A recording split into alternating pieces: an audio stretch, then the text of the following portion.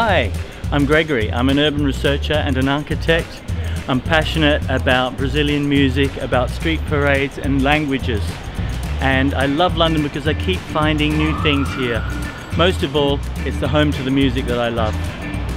On my tour, I'll show you London's best highlights and hidden gems.